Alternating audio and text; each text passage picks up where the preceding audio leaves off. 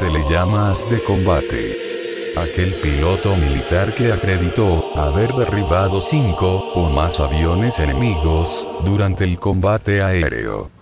Muchos pilotos han sido llamados ases de combate, pero pocos han logrado la hazaña en un solo día.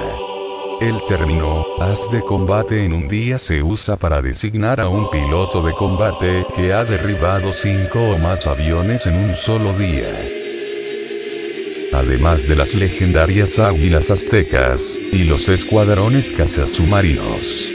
Durante la Segunda Guerra Mundial miles de mexicanos se enrolaron a las fuerzas de los aliados y combatieron en distintas partes del mundo. Incluso mujeres trabajaron en las fábricas de munición, al servicio de los aliados. Uno de estos mexicanos, fue el mayor Oscar Francisco Perdomo.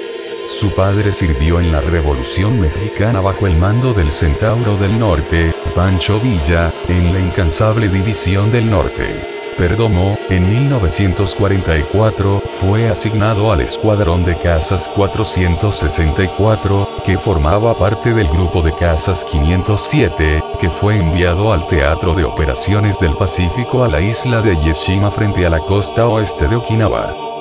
La misión principal del 507 era dar cobertura de combate a la octava Fuerza Aérea de Superfortalezas Voladoras Boeing B-29, que iban a ser estacionados en Okinawa. El 507 comenzó sus operaciones el 1 de julio de 1945. A Perdomo le fue asignado el P-47, N2R con número 146 y número de serie 4488211. Perdomo apodaba su avión. Lineatilles Chopper.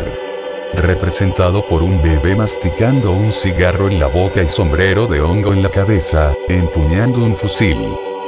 El 13 de agosto de 1945 fue el día de la hazaña. Perdomo era un primer teniente y un veterano de 10 misiones de combate.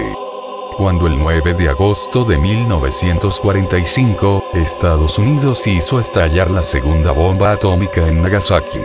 Los aliados estaban todavía esperando la respuesta de Japón a la demanda de rendirse, y continuó la guerra cuando el 13 de agosto de 1945, el teniente Perdomo, derribó cuatro casas Nakajima combatientes, y un Yokosuka, tipo 93. Esta acción tuvo lugar cerca de Keijo, Seúl, Corea, cuando 38 Thunderbolts de la ala de combate 507, se encontraron con aproximadamente 50 aviones enemigos fue la última misión de combate de Perdomo, y las cinco victorias confirmadas, lo convirtieron en un as de combate en un día y también la distinción, de ser el último as de combate en la Segunda Guerra Mundial. Por esta acción fue condecorado con la Cruz de Servicio Distinguido y la Medalla del Aire. Como esta, hay muchas historias más, de haces de combate mexicanos, y por supuesto de muchos otros mexicanos, que pelearon y murieron, en la Segunda Guerra Mundial.